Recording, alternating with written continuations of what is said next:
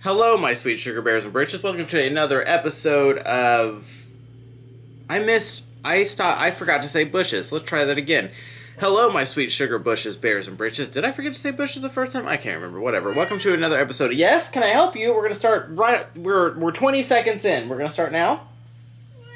Okay. Well, hold on. So wait. Maybe. Huh? Yeah. You ever thought about that? The world's not all about you and getting whatever you want.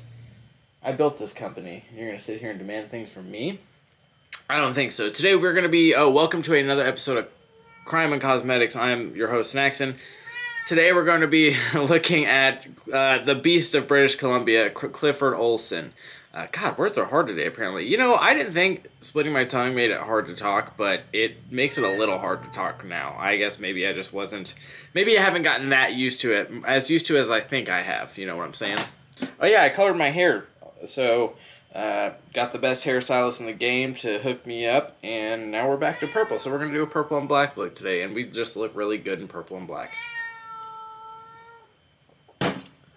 Oh my god! Chill out!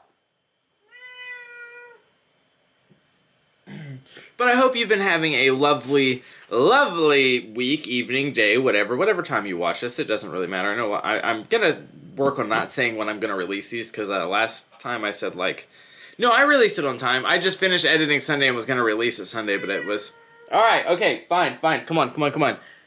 Give me a second. Here, there's for you.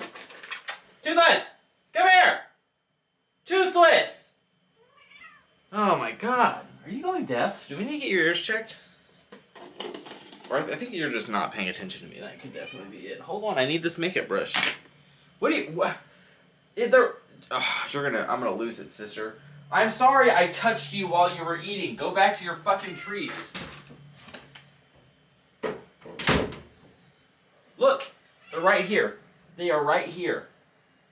God, what cats are weird, dude. Kids these days, I swear. I'm gonna try some line work I saw on the internet. We'll see how it goes. We will see how it goes. Also, for this episode, I have a friend, Tia. Um, you, hey, you f off. Those are her treats. Get out of here, War Chief, before I send you into the stratosphere. And last time you tried to take treats from Tula, she beat the shit out of you, so you better watch it, sister. And our good friend Tia, her mom went to church, or her family, you know, went to church with uh, this dude and her uncle knew one of the people that went missing. It's crazy. So they wrote, I had her, her mom wrote some things like what it was like around the area when kids were disappearing. Um, and I'll read that off a little bit later, but uh, let's get our makeup uh, open and ready, and then we will, we'll do a, um, we'll do a, um, mukbang and murder next week. I just had, didn't, I'm not, I wanted to do it this week because I got some MREs I want to try out, uh, but I told somebody we'd go to dinner, so uh, I'm gonna wait on that. Um, but yeah, there's some kind of like line work I want to do. So, um, okay, you're just gonna take that box with you? You go right ahead.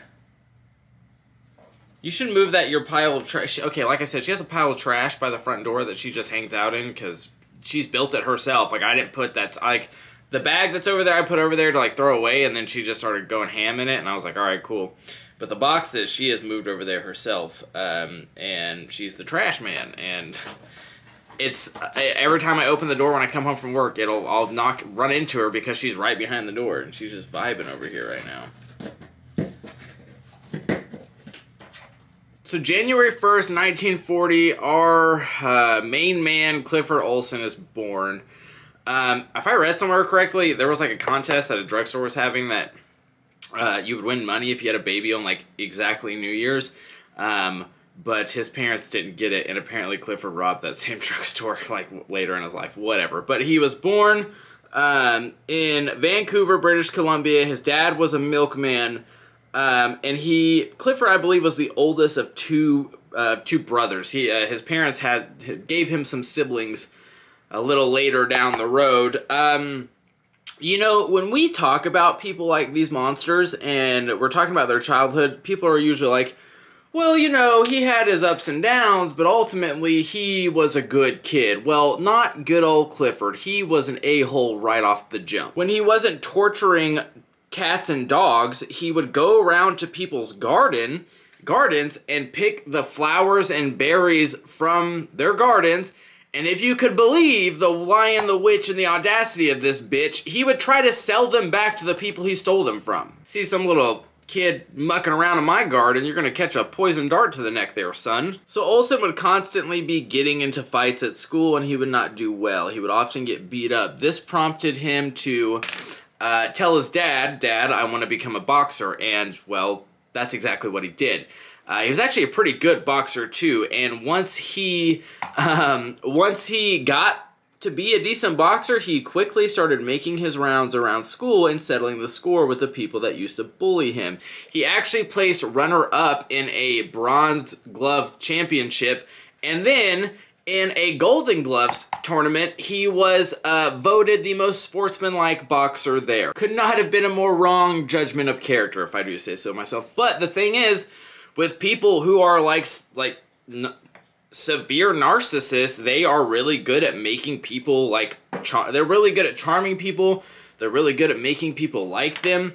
Um, multiple times through my research did I see that people referred um, to Clifford as having the gift of the gab, meaning he could just he could just charm his way into anybody's good graces. He was a real good talker, and a lot of so uh, narcissists and psychopaths are because they know if they can talk their way out of something, they can manipulate somebody into giving them what they want. So Olson drops out of school in grade 8. He uh, lives with his parents until he catches a breaking and entering charge when he is 17 excuse me, and he is off to juvenile detention center. God, I love this purple. I know we do a lot of purple looks, but I, this deep sea on this uh, See You Later Violet Voss palette is just stunning. So like I said, Olson, at the very truest sense of the word, was a conman. He had a silver tongue. He could talk his way out of anything. Um, he successfully escaped it incar- escaped it. He successfully escaped car- incarceration like seven times. He broke out of jail multiple times because he was able to talk his way out of things and convince people, you know, he was someone he wasn't. Um, but one thing Olson had a rivalry with were police dogs because he was caught by police dogs like three times. Uh, there was a, an event where he was literally just laying down um, laying down in some bushes as correction officers and police walked past him multiple times to search the area for him. Uh, and they never found him, but as soon as they broke out that police dog, he was done. I think at one point when he was in prison, he put a little bit of blood in the urinal, which earned him a trip to the hospital. And once he was at that hospital, he quickly made his escape. Uh, over the next course of 25 years, Olson spent all but four of them in prison. Olson's dumbass even got thrown into prison again one time because the penitentiary he had done time at was going to close in 1981. So he was like, "Oh, I'm feeling a bit sentimental. Let me go um, let me go visit this and, you know, see my old stomping grounds where I used to sleep in my cell and what have you." So he goes and visits his old uh, penitentiary uh, he goes and looks in the cell that he used to stay out, you know, thinking about the good times. And then a prison guard looks at him and is like, I know who you are. And he's like, What? And then the prison guard looks like, is like, You know, you have warrants out for your arrest that are like Canada wide. You, you know that, right? And Olson's like, I have no idea what you're talking about, champ. Uh, this is not the actual conversation, by the way. I don't know how it went, but essentially, this prison guard recognizes him, calls the authorities, and Olson is arrested with the group. Arrested in front of this group of tourists he came in with. Um, and spent another, I think, six or seven months behind bars. Big stupid dummy. So as time goes on, Olson ends up back at his old stomping grounds where he grew up. He marries a Joanne he- uh, Hale, H A L E, um, on May 5th of 1981, and not and about a month later, she gives birth to Olson's son. And just like your typical narcissist, Olson was well liked in his community. Uh, he was very kind to the children. Um, you know, uh, at one point a girl went missing. I don't. I'm not 100% sure if it was a girl he was responsible for making go missing, but he drove around town late at night looking for this, that, and the other. He would often bring toys to the kids in the area because a lot of them didn't have new things. Um, he was always scamming people to get money, and he would, you know, bring them candy, this, that, and the other. Uh, he was a church going family man. Like one of the articles I read stated he was wearing out a pew in church because he was always there. He was always doing something with the church. Um, he was well, well educated on the Bible, um, knew it front to cover, or if that's the same thing, front to back, cover to back, whatever, you get what I'm saying. And like I said, my friend uh, said that her, uh, I think her grandmother took care of Olson's son while they were in, in the nursery at church. Like they went to church with him and stuff. It's insane. But like I said, you know, they're having the time of their life. Um, his, him and his wife get married. They're having this great, you know, family, family dynamic. But little did they know by the time Olson and his wife had gotten married, he had already claimed the lives of three children. So, November 17th, 1980, Olson takes the life of Christine, 12 uh, Christine Weller.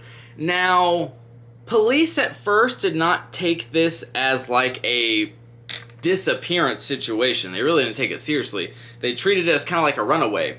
Um, I don't know about you, but I'm feeling 22. Just kidding. I don't know about you, but when a 12 year old doesn't come home and their home life isn't that, you know, there's not not something they would run away from, that seems a little suspicious. But then again, uh, this was in the 80s, so that kind of is on brand.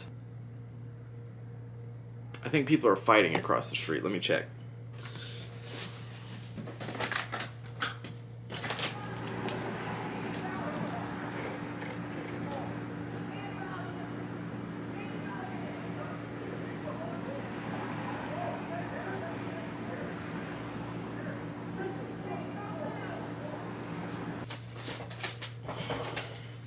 They fighting, dude. I don't know. I don't know what it is. I have no clue. But like my apartment complex, um, my apartment complex is like super quiet, super chill. Like there's no nobody ever like the the loudest thing I've ever heard here is my neighbors upstairs walking around and like laughing and having it singing, having a good time.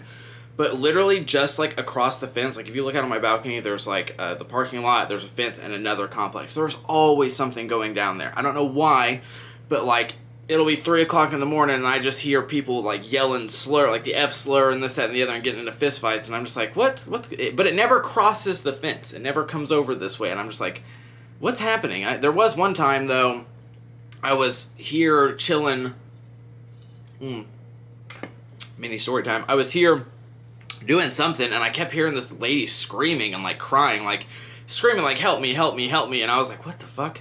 Um, and I look out uh, my balcony, and there's like she's on her balcony, and there's there's two guys standing next to her. She's like screaming, like "Get out, get out, like get out of my house!" Blah blah blah blah blah, and they're just like not leaving. And so she finally leaves, and she walks over to our apartment complex. Um, and she's like walking through the uh, walking through the um, parking lot across in front of my building, like crying, like somebody help me, somebody call the police, they won't get out of my house, this, that, and the other. So I was like, damn, like, you know, she didn't have a cell phone, I guess. And I was like, I don't really like calling the cops. Like, I don't like the police being around here. But I was like, you know what? Like, she needs help. I'm not about to go, like, fight two guys for some lady I don't know. So I just called the police. And then, I don't know, man. It was weird. Uh, then the police tried to come and talk to me. They're like, yeah, we're going to come up to your apartment and talk to you. And I was like, no, you're going to meet me out front. You're not coming anywhere near my apartment. Uh, but yeah, it's always something over there. It's crazy.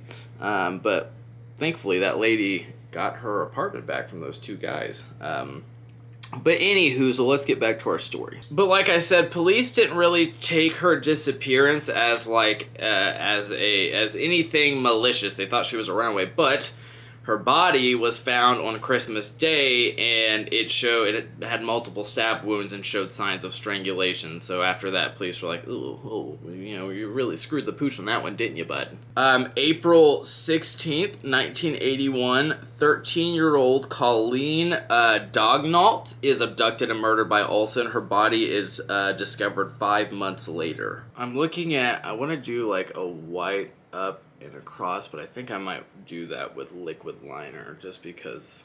How do so? Okay, quick question for all my makeup friends out there. I see people do these super crazy like detailed looks that like I'll try to find a picture and post it, but how do they do that? I've heard people like you you kind of get your makeup brush a little wet and then apply it like that, but is is, is that is that correct? Do I need to do that? I don't know. So on April 22nd, 15 year old Darian Johnsrude is abducted by Olson while uh, he is spending time at a local shopping mall. Uh, he had only been in the Vancouver area for two days, and he his body was discovered less than two weeks later, uh, and had been very badly beaten. May 19th, only four days after his wedding, Olstein picks up a 16 year old Sandra Wolfsteiner, who is hitching a ride back from her boyfriend's house, and takes her to a nearby wooded area and takes her life. You know, these poor kids being you know, putting trust in somebody and then being uh, sexually assaulted and murdered. Like, Olson was a real monster. So Olson continues to go about this whole I'm an upstanding member of society, you know, despite being arrested like 90 times. What? You already got treats. Um, and being this good, honest, going church man.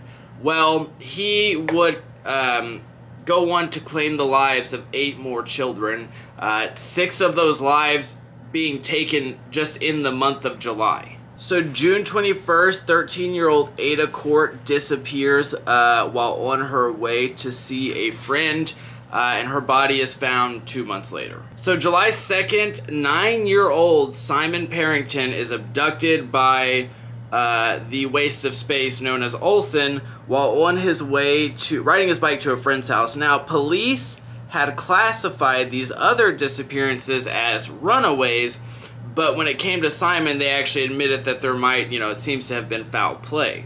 So July 9th, 14-year-old Judy Kozma, Kozma, sorry if I mispronounced that, is abducted by this monster. He pried her to get into his vehicle. He gave her alcohol as well as um, chloral hydrate and then he abuses and murders her. And that was one thing Olson did to get kids into his vehicle. Um, he would, you know, be like, oh, you know, oh, let's go drinking, this, that, and the other, blah, blah, blah, blah, blah.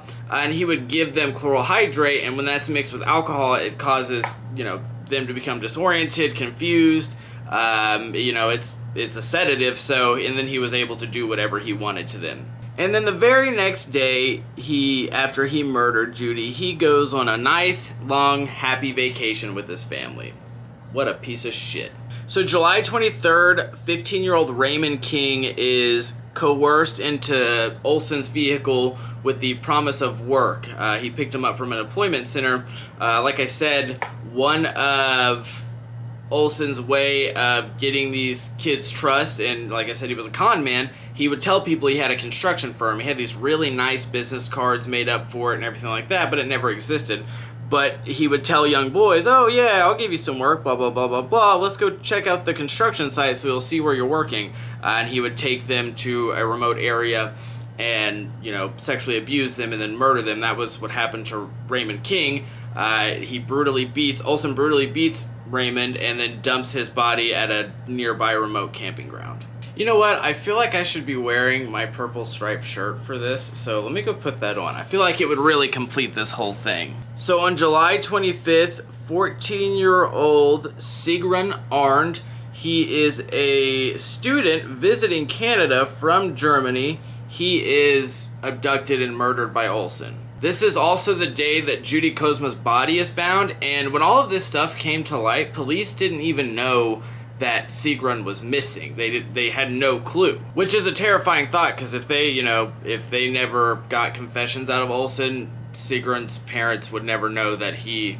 was murdered. They would never know what happened to their child. On July 27th, 15-year-old uh, Terry Lynn Carson is abducted and strangled by that a-hole and left in a wooded area near the Fraser River. So on July 30th, 17-year-old Louise Chartrand, who is the last of Olson's victims, um, is abducted by Olson. She's taken to an area near Whistler, British Columbia ski resort, um, and there she is murdered and buried in a shallow grave.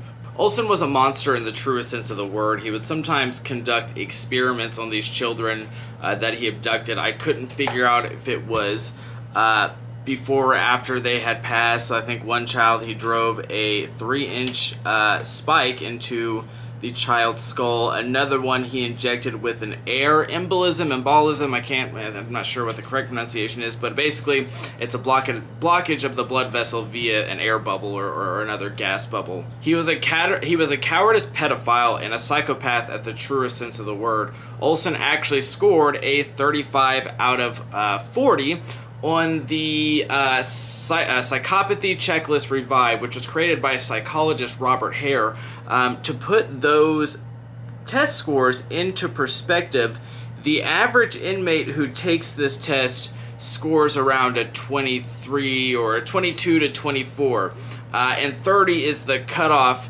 to determine if someone is a psychopath. Olson's scores to this day, if I read correctly, are still one among the highest uh, that's ever been received on this test.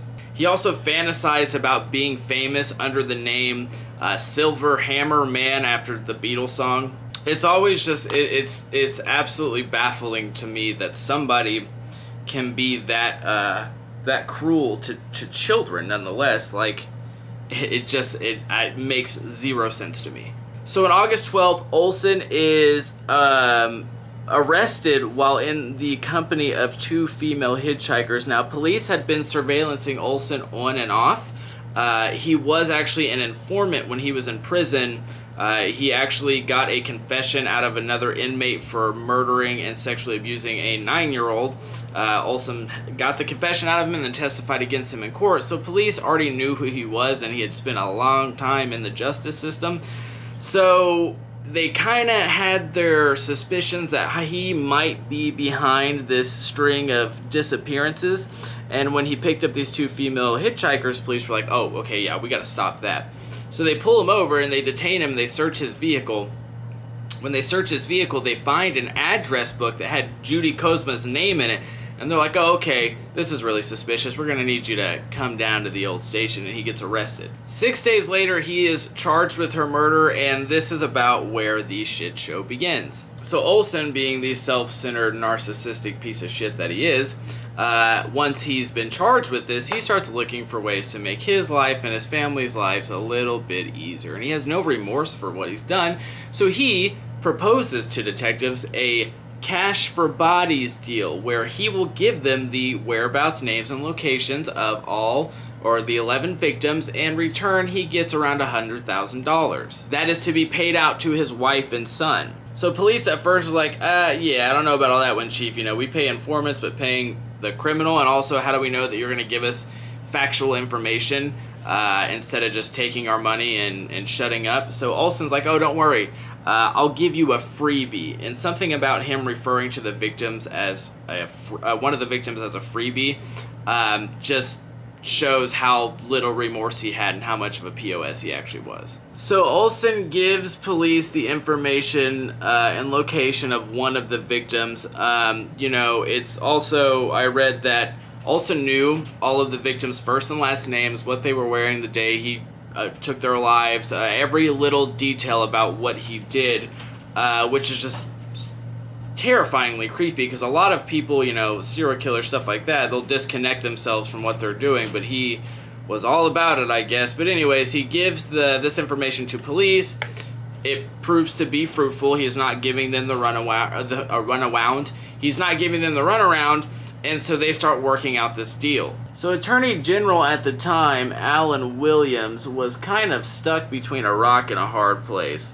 Uh, he was making what most considered a deal with the devil, and if he did not make this deal, though, there was a possibility that Olson could be released back onto the streets because the lack of evidence they had uh, in the charges against him for murdering Judy Kozma. So it was either give this serial killer a hundred thousand dollars or risk him being released uh, due to lack of evidence and going to murder more people. You're kind of damned if you do, damned if you don't there. At the end of the day, though, Williams didn't did agree to this deal because it was a sure fire way to get um, to get Olson hit with first degree murder and not be released back into the public. So during these negotiation negotiations and what have you, Olson is acting like he's a celebrity. He's smoking cigars with his lawyers, uh, just strutting around like he owns the place. He even tells his wife,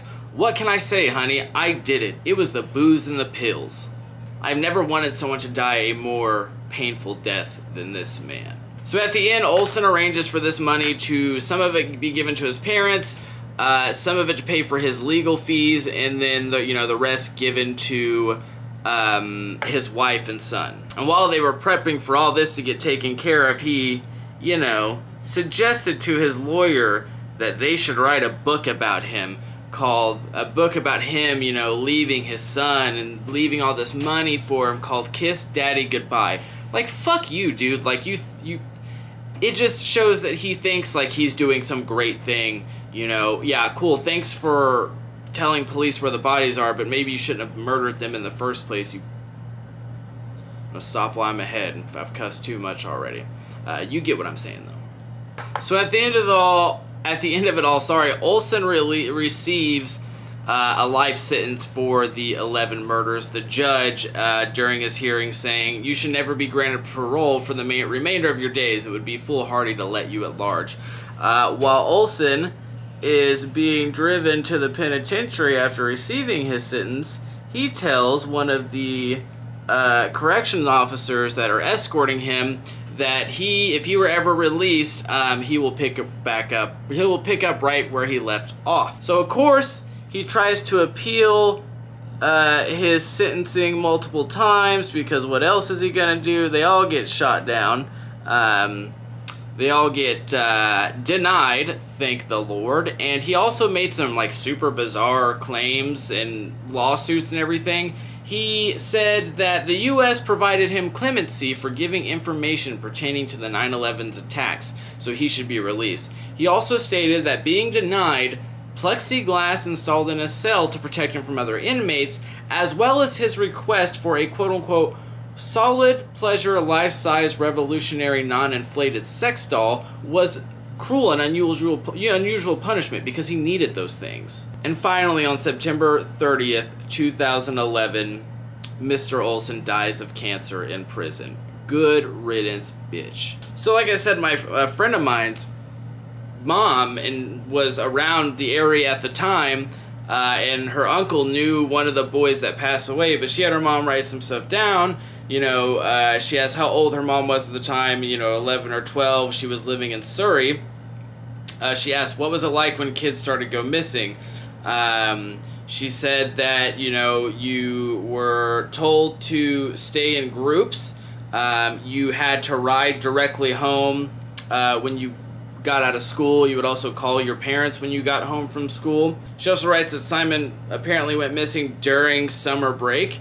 Uh, you know, the nine year old we talked about earlier. And her uncle knew Simon, um, her mom's brother, and the school was just really quiet about it. They also attended the People's Four Gospel Church, which was which was the same church that Olson and his wife, I believe, got married in and also attended on a regular basis. And that her grandma took care of Olson's son, I think his name was Stephen, in the nursery of the church. They weren't allowed to, the kids weren't allowed to go alone, go anywhere alone at night. She says that, you know, the parents kept the kids in the dark about most of it uh, but they kind of just uh, hammered into them stranger danger. They were allowed to roam and go wherever they wanted to. It was the 80s, you know, but they had to call and give their parents specific details of like, this is where I am, this is who I'm with, this is what we're doing, this is the clothes we have on, blah, blah, blah, blah, blah. Um, and basically give this entire report of who, where, where, and who they were with. So in case something happens, they have details they can give to police. Um, when Simon went missing, it was on the news, but the the her mom writes that she was kept in the dark about it because you know they're kids, um, you know about this almost the same age as Simon. Simon was nine, I think her mom was eleven or twelve when this happened, and that's a terrifying thought. A kid around your age goes missing. You know, it could be you. Uh, but like I said, Stranger Dangers was Stranger Danger was drilled into their brains uh, never getting into the car with a stranger. Don't go up to strange cars or talk to anybody you don't know. Um, what a terrifying time that would have been too. Just being a kid when that when that is happening, uh, especially in like your area, like close to you. It's that's can't imagine. You know, you can be kept in the dark for. You know, your parents can keep you in the dark for however long, but at some point, you know, kids pick up on things. But that is the beast of British Columbia, Clifford Olson. Uh, may he rot in hell. I'm gonna finish this look up a little bit, uh, put it, even this stuff out, and put some lines, and we'll pick our crime for next week. All right, I think we're gonna leave it at that. I wanted to do some really really cool designs with the white and stuff like that, but my hands just will not stop shaking today, and I don't know why, and it's very, very frustrating, and I hope it doesn't get worse. Um, kind of a pain in the ass. Uh, it's very hard to do things when they're doing that. Um, but let's go ahead and pick our crime for next week. We'll uh, back it up just a little bit. That's perfect. All right. Oh, who are we going to cover? Throwing some of your suggestions in here as well, so keep leaving them in the comments of this video, and we will keep putting them in. Um, all right. That. Oh, this is two of them. Alissa Turney. But yeah, that's the case we're covering. I think I remember this one. Wasn't this a big TikTok thing too? Um, so that, oh, that's going to be interesting. But uh, yeah, thank you so much for hanging out with us. We love the purple. Uh, purple is just our color, friends. Um, thank you so much for stopping by. If you have any suggestions, please leave them in. Please leave them in the comments of this video, and I will place them in the murder pot. If you you can join our coven, which is our Discord server, uh, I will leave that link in the description of this video as well and I will also link all my other social medias. We, we're about to play Dungeons and Dragons on Twitch, stuff like that. It's going to be a grand old time. Uh, come stop by, play video games with us. We've been playing a lot of cowboy games recently. Uh, but I need to go get coffee before we play some Dungeons and Dragons. So I will see you next week. Be safe, be kind to others, be kind to yourself. I love you so much. Remember that you are loved, you are valid, you are cherished, your life is precious, and there's always a place for you here in this community, and we will always be here to listen to you. Love you so much. Bye bye.